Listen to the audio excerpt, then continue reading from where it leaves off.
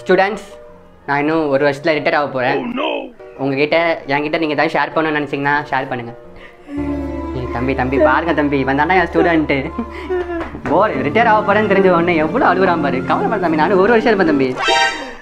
அதான் சார் எனக்கு பிரச்சனையே. இன்னும் ஒரு வருஷம் இருப்பீங்களா?